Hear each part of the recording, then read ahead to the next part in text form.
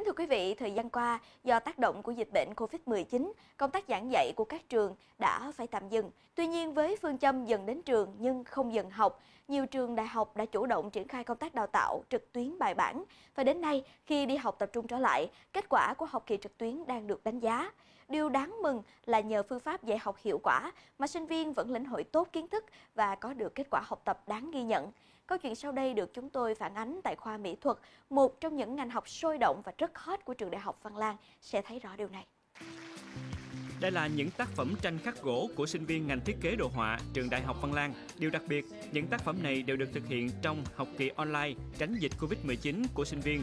minh chứng cho hiệu quả tổ chức giảng dạy online của đội ngũ giảng viên trường Đại học Văn Lang. Tại buổi triển lãm tranh khắc gỗ, đam mê nghệ thuật truyền thống do khoa mỹ thuật công nghiệp tổ chức, những tác phẩm tranh khắc gỗ độc đáo và ấn tượng nhất đã được các bạn sinh viên, giảng viên của nhà trường trưng bày và chia sẻ những khó khăn thử thách khi thực hiện tác phẩm hoàn toàn ở nhà với điều kiện thiếu thốn về dụng cụ thực hiện và nhận được tư vấn hướng dẫn của các thầy cô qua màn hình. Bên cạnh đó, hàng trăm bức tranh vải nghệ thuật của sinh viên ngành thiết kế thời trang cũng được trưng bày trong không gian ấm cúng, được đầu tư chỉnh chu, mang đậm chất nghệ thuật tại phòng thiết kế của trường Đại học Văn Lang, cơ sở 3, nơi được mệnh danh là đại học có thiết kế ấn tượng nhất tại thành phố Hồ Chí Minh. À, những khó khăn đầu tiên là khi mà bắt đầu học á, thì tụi em á, sử dụng các thiết bị thì nó hơi có chút khó khăn thì phải ờ, đôi lúc là phải ờ, bị thoát ra hay là không có thể nghe thầy cô nói hết được và cũng khó trao đổi với giáo viên nhưng mà trường mình dạy online sớm nên sau khi đi học lại thì tụi em cũng có một kiến thức trong mùa tuyển sinh năm 2020, trường Đại học Văn Lang có 6.885 chỉ tiêu tuyển sinh cho 45 ngành học đào tạo hệ đại học chính quy. Trong đó, khoa mỹ thuật công nghiệp chuyên đào tạo về thiết kế đồ họa, thiết kế thời trang, thiết kế sản phẩm và thiết kế nội thất với chương trình đào tạo thực tế và ứng dụng. Khoa mỹ thuật công nghiệp của Đại học Văn Lang cũng là cái nôi sản sinh rất nhiều nhà thiết kế nổi tiếng đang làm việc trong các công ty thời trang, thiết kế nội thất uy tín của Việt Nam.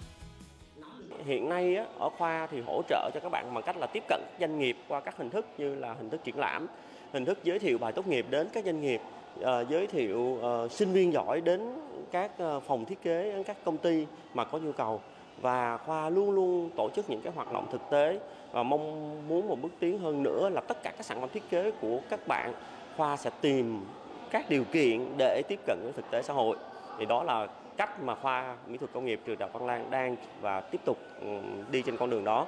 Thì ờ, đối với nhu cầu xã hội đối với ngành thiết kế hiện nay nhiều hay ít ờ, thì ờ, rất nhiều phụ huynh đặt câu hỏi như vậy thì chúng tôi cũng,